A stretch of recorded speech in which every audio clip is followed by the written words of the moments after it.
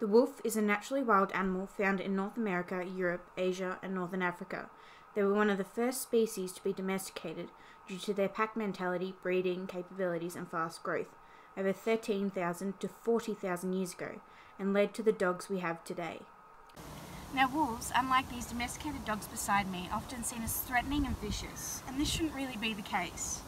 There have only been two incidences in North America where wolves have ever killed someone, and those were under very peculiar circumstances. These fears come from the early European settlers coming to the country. They saw wolves as cowards and scavengers, pests, if you will. And unfortunately, some cultures today still see killing wolves as a rite of passage, as a show of bravery and courage, while others, much like Native Americans, see wolves as loyal, beautiful creatures that are to be worshipped, seen as almost deities, if you will. And luckily, some people today have started to recognise that wolves play a very vital role in the economy and the ecosystem. They're keystone species and are trying to protect these wonderful animals, though the governments aren't exactly agreeing. Unfortunately, we don't really understand why people still fear wolves.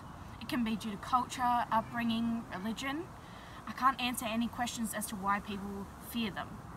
But what I can tell you is that everyone has a different perspective. And to understand these perspectives, we have to hear from two very significant players in this game. The people that fear wolves and the people that love them. So, why don't we look at the two? So first, let's talk to Mildred, one of our local farmers. Mildred, what do you think about wolves? Wolves? Yeah, nah, not a fan. Not many people are around here though. Yeah, they take way too much from us. Our cattle, our land, even our rights. Mm-hmm. I mean, you look at these wolves taking a cattle a day from me. Not much I can do about it either. And I can't let my kids bloody run around free either. Nah. Those wolves will kill them straight up. Plus my pets. I got some bloody good cattle dogs. Can't let them roam free, sniff around. Nah. Wolves will kill them for sure. And let's not forget that these breed like rabbits. Mm-hmm. Could be one now, but five tomorrow.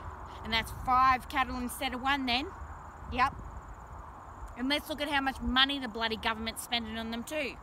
Yeah, I heard that in that Yellow Creek Park thing, they spent 200,000 to a million on one wolf alone.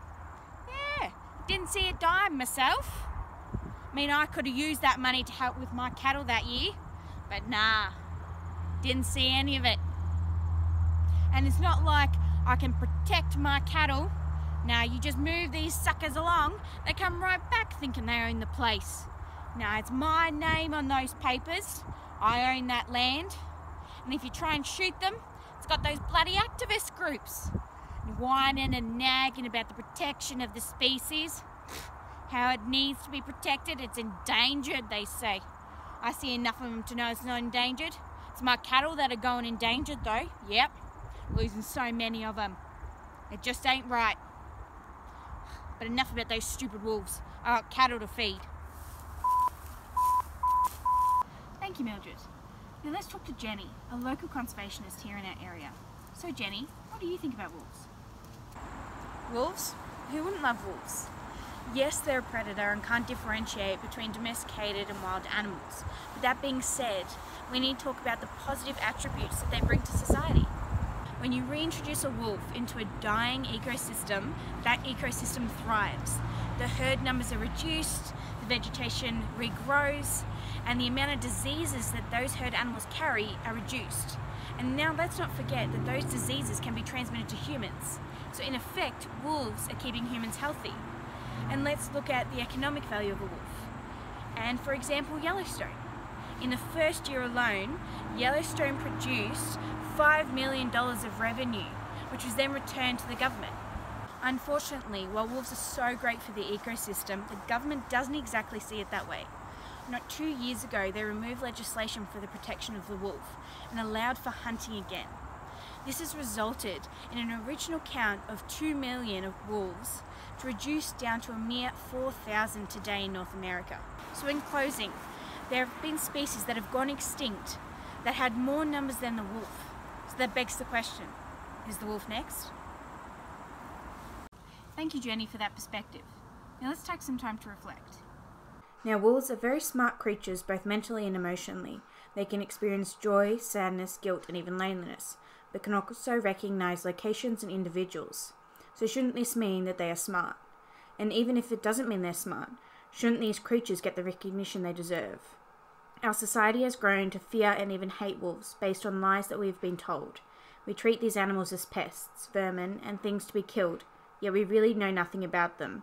A pest is an animal that is common and negatively impacts humans, yet wolves are declining in numbers and have more positive impacts than negatives. So, I leave you this question Who do you agree with today? Will you stand for the wolves, or are they simply competition?